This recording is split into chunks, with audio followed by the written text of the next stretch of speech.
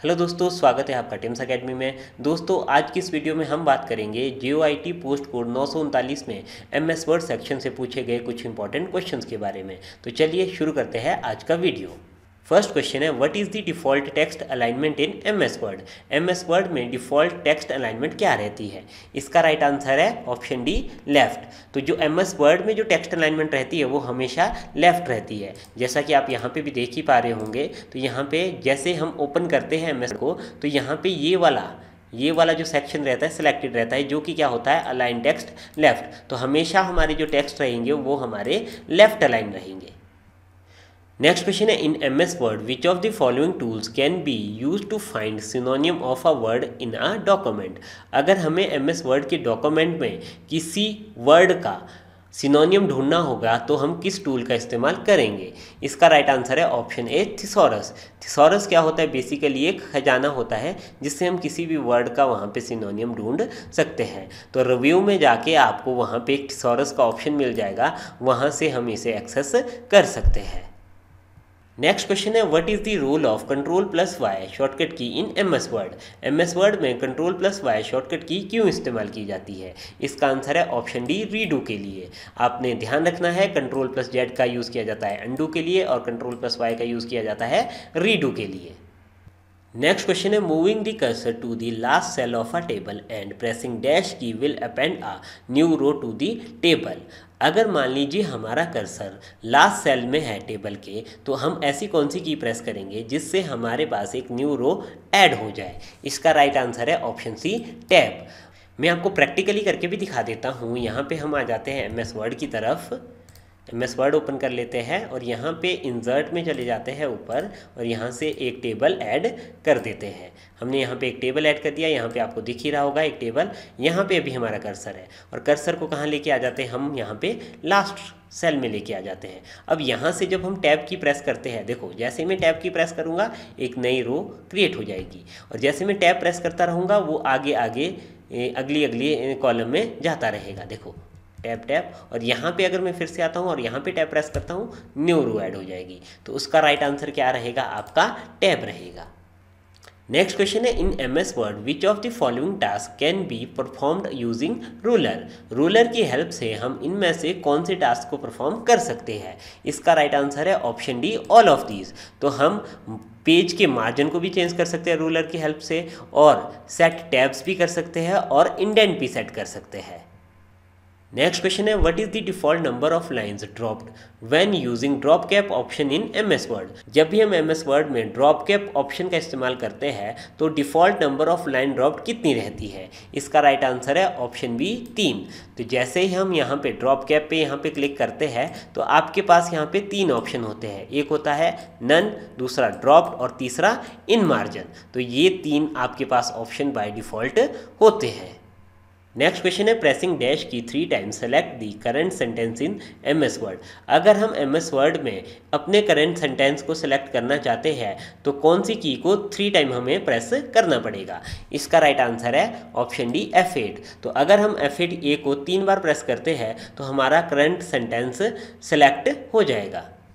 Next question है what features help you to insert the content of the clipboard as text without any formatting in M S Word अगर हमें M S word में clipboard के text को without formatting paste करना है तो उसके लिए हम किसका इस्तेमाल करेंगे? इसका आंसर है ऑप्शन ए पे स्पेशल तो पे स्पेशल का इस्तेमाल करके हम विदाउट फॉर्मेटिंग भी टेक्स्ट को पेस्ट कर सकते हैं। नेक्स्ट क्वेश्चन है which of the following is not a type of page margin in M S Word document M S Word document में इनमें से कौन सा एक पेज मार्जिन नहीं है?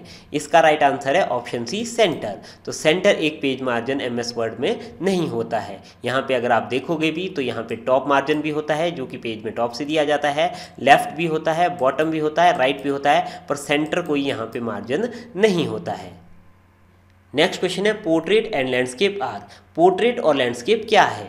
इसका राइट आंसर है ऑप्शन ए पेज ओरिएंटेशन तो पोर्ट्रेट और लैंडस्केप क्या है? पेज ओरिएंटेशन है. यहाँ पे अगर आप पेज लेआउट में जाओगे भी एम एस वर्ड में और ओरिएंटेशन में अगर क्लिक करोगे तो वहाँ पे आपको पोर्ट्रेट और लैंडस्केप का ऑप्शन मिल जाएगा. पोर्ट्रेट आपका इस तरीके से होता है पेज और लैंडस्केप क्या हो जाएगा? इसी पेज को अगर आप इस तरीके से रोटेट कर देते हो, जैसा कि यहाँ पे आपको दिखाई भी दे रहा है.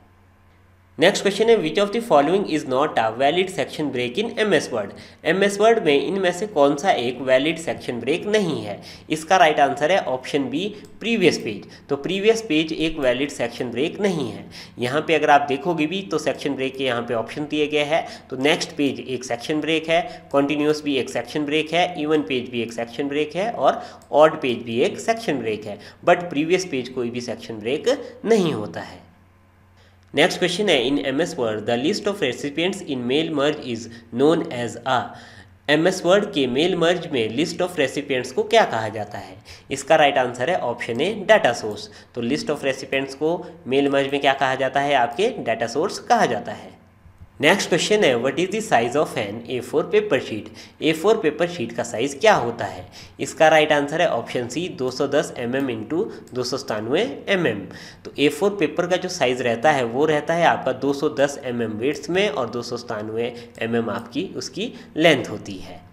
नेक्स्ट क्वेश्चन है what is the shortcut key in M S Word to insert a manual line break अगर हमें एम एस वर्ड में मैनुअल लाइन ब्रेक ऐड करना होगा तो उसके लिए क्या शॉर्टकट की है? इसका राइट right आंसर है शिफ्ट प्लस एंटर तो शिफ्ट प्लस एंटर से हम मैनुअल लाइन ब्रेक को ऐड कर सकते हैं।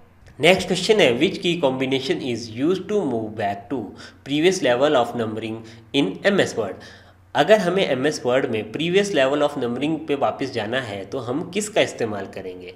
इसका राइट आंसर है option D shift plus tab तो शिफ्ट प्लस टैब से हम प्रीवियस लेवल ऑफ़ नंबरिंग पे वापस आ सकते हैं। तो मैं आपको प्रैक्टिकली भी बता देता हूँ तो एम एस वर्ड पर आ जाता हूँ मैं, और एम एस वर्ड पर आने के बाद यहाँ पे मैं मान लीजिए स्टेट लिख लेता हूँ, और स्टेट लिखने के बाद यहाँ पे मैं इसे क्या कर देता हूँ नंबरिंग दे देता हूँ एंटर करता हूँ, और उसके बाद मैं टैब प्रेस करता हूँ, और अगले लेवल ऑफ़ नंबरिंग पे मैं आ गया तो यहाँ पर मैं लिख लेता हूँ एच तो एचपी अगर मैंने यहाँ पर लिख लिया है तो फिर से मैं टैब प्रेस करता हूँ, और आगे आ जाता हूँ, और यहाँ पर लिख लेता हूँ मान लीजिए शिमला, फिर क्या लिखा मैंने, सोलन, और फिर लिख लिया मैंने ऊना. अब नेक्स्ट में मुझे क्या करना है? वापिस आना है किस पे? इस वाले नंबरिंग लेवल पे। तो मैं शिफ्ट और टैब का इस्तेमाल करूँगा। देखो, मैं वहाँ पे आ चुका हूँ। अब मैं क्या कर सकता हूँ? यहाँ पे एम लिख सकता हूँ। ठीक है? फिर यहाँ पे मान लो, यहाँ पे मैं आर जे कुछ भी लिख सकता हूँ आगे। और अगर मुझे आगे जाना होगा तो मैं टैब का इस्तेमाल करूँगा। और अगर मुझे पीछे आना होगा तो मैं यहाँ पे शिफ्ट और टैब का इस्तेमाल करूँगा। दोस्तों, कैसा लगा आपको हमारा आज का वीडियो? अगर आपको वीडियो पसंद आए तो इसे लाइक शेयर और कमेंट करना ना भूलिएगा। मिलते हैं किसी नेक्स्ट वीडियो में, तब तक के लिए बाय बाय